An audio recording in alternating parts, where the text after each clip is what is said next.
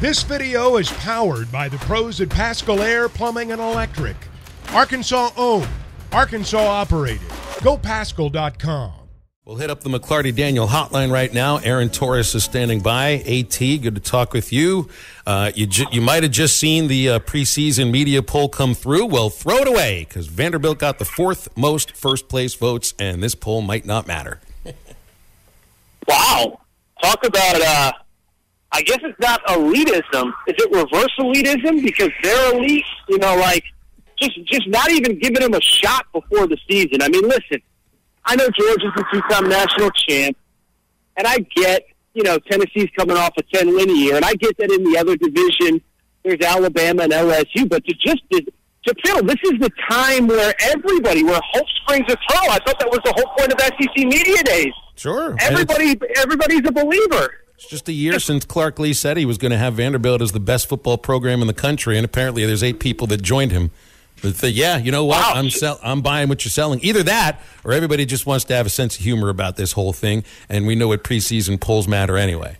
But I mean, the, the, this is what it all led to. This is what SEC Media Day, Days led to. All the NIL talk, all, and I think another aspect of this whole week, which was interesting to me, is how the week was kind of bookended by Greg Sankey basically petitioning publicly Congress to help fix NIL laws. I know that they, they lobbied about a month ago about that. And then there's a proposal that comes out from the Senate on Thursday. That also felt like that's what SEC Media Days was about, too.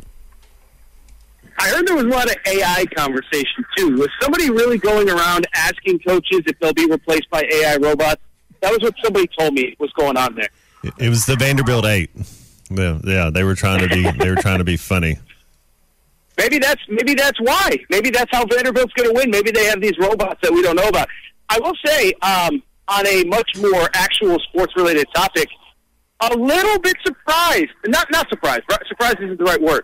But for all the LSU buzz and oh my goodness, by the way, I love Brian Kelly. I've said it many times. I was at UConn when he was at Cincinnati. I've been following his career ever since. But it felt like the last six weeks or so, there's just been a lot of you know, LSU might actually be the team in the West that we all got to focus on. And then the poll comes out, and Alabama's picked to win the West. That would be my pick as well, Alabama. But I just find it interesting on, a, on, an, on an actual football topic that we've spent, it feels like the last six, seven weeks talking a lot about is LSU, have they surpassed Alabama? Apparently the voters disagree uh, with Alabama being picked to finish first. Well, I mean, I'm seeing we we, we know that they're not going to be dynamic at quarterback. Uh, they might have some questions on the offensive line just because they don't have a lot of experience there, but that means there's a lot of talent there. Uh, it's not to say that there's not a lot of talent as far as quarterbacks concerned. It's just not as much as usual, and nowhere near the level of talent we've seen quarterback wise from Alabama. So I guess the feeling is they're going to have to win some games in the 20s. I can still see them pulling it off, but part of this is also just you trust the coach. You know, Nick Saban yeah. has kind of earned that now, hasn't he? A thousand percent, Phil. And, and I think some of Nick Saban's comments at Media Day were interesting. And I know, you know, we, we've kind of conditioned ourselves to believe that coaches aren't going to say anything of value at Media Days. But I thought, you know, him talking, you know, both in one-on-one interviews, but also, I believe, at the main podium about, hey, I thought we got a little too Bryce reliant last year. That wasn't a knock on Bryce Young. It was just the reality of we have this this, this program-changing quarterback or this number one NFL draft pick and I think we relied a little bit too much on him last year. We want to get back to running the football, playing complementary football. Um, and so I, I think Nick Saban's quotes are kind of interesting in how he sees this team and what he feels like the quote unquote pitfalls were last year in the season where they went 11 and 2. So they're really interesting to me, Phil. I, I do think the, the LSU stuff is a little bit much for me. And I think what the, the anti, if you want to call it that, Alabama stuff, it does to me, Phil, come down to very much for the first time since Jalen Hurts' freshman year, there isn't an obvious either returnee at quarterback or obvious heir apparent. There are talented guys in that locker room, but I also think it is fair to say, hey, wait a second now. Tyler Buchner, who wasn't going to win the starting job at Notre Dame, comes in. He doesn't transfer there if he isn't led to believe that he has a real shot to win that starting job. So you're right, Bill. I mean, this might look like kind of an old school Alabama team where it is a lot about the run game, a lot about the defense, and, and maybe they don't have that elite game changing talent at quarterback like they have the last seven, eight years.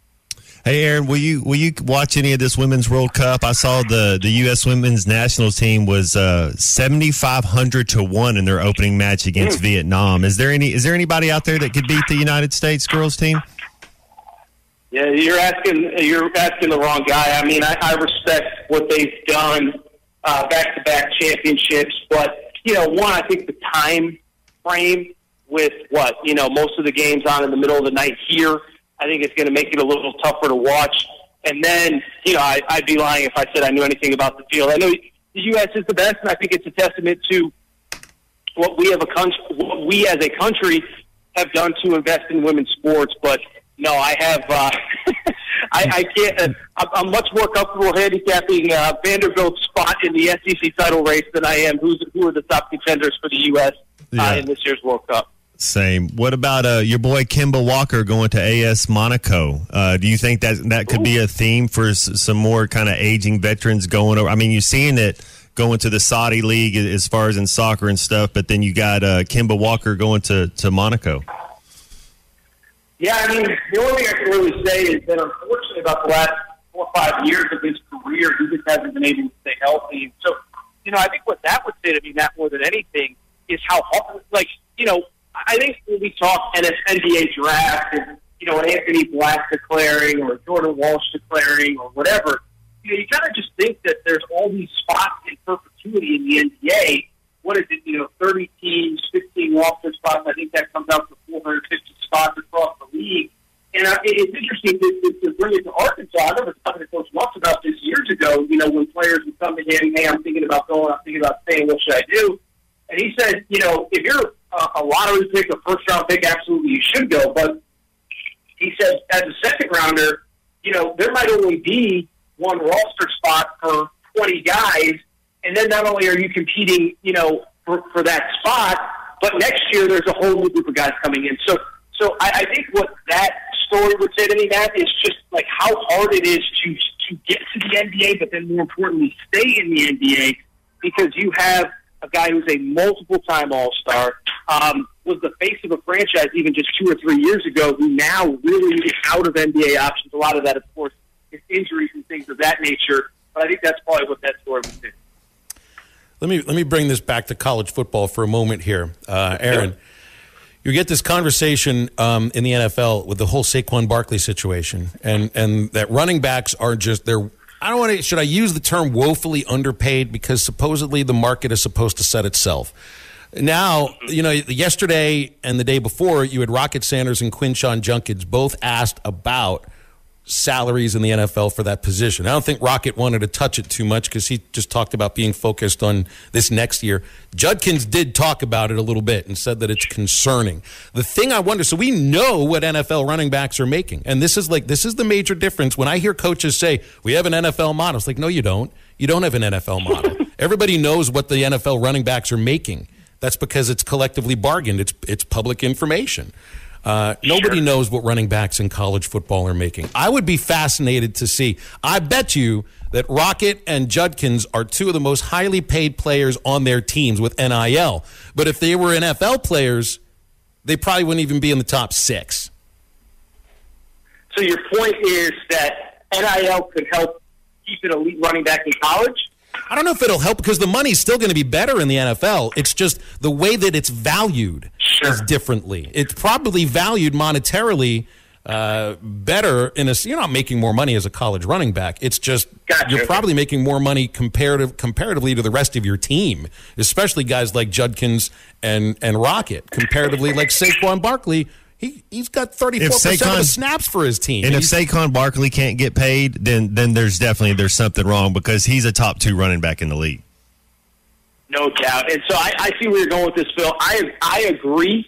Um, and I think what it speaks to is, you know, and, and I think we've probably seen this in college football the last two years is there's this, you know, kind of, listen, the thing that I've learned doing this as long as I have, everything is cyclical, right? You know, it, you, you think that something's going to be some way forever. Like I remember when Steph Curry got to the Warriors and it was, you know, well, we got to find our Steph Curry. And it's like, well, there's literally one of those walking the planet. And so why I bring it up is because in the NBA, it felt like, even across basketball, it felt like this year size was more valued than ever before. We talked about this when Anthony Black got drafted. You know, my UConn Huskies, every starter was six foot five or bigger. NBA, you know, Nikola Jokic, you know, that's a big, big, big team in the Denver Nuggets. So why I bring it up is I don't think it's going to change in the NFL because the, the quarterback is just so valued.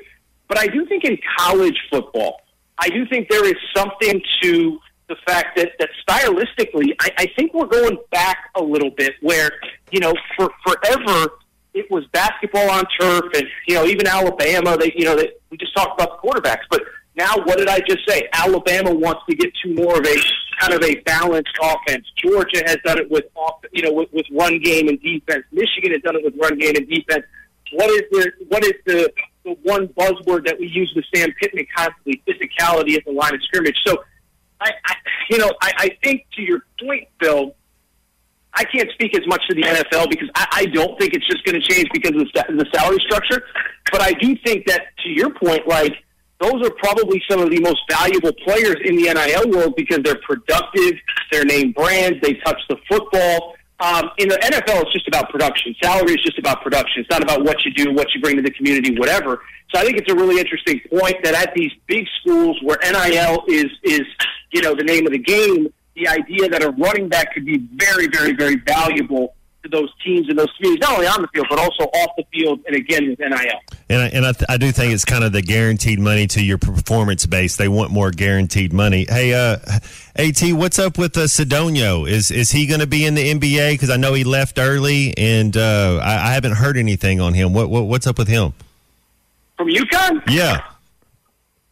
Well, you know, it's it's tough, man. It's tough, you know, and this is like, and you know, I, I don't know if you guys ever get a chance to, to speak with Coach Muss, but like, eh, eh, I, I, I just, he's just such a great person to talk to about how hard it is. And by the way, I know when you do get to speak to him, you want to talk to him about Arkansas, not what he's done the last, you know, 25 years of his career.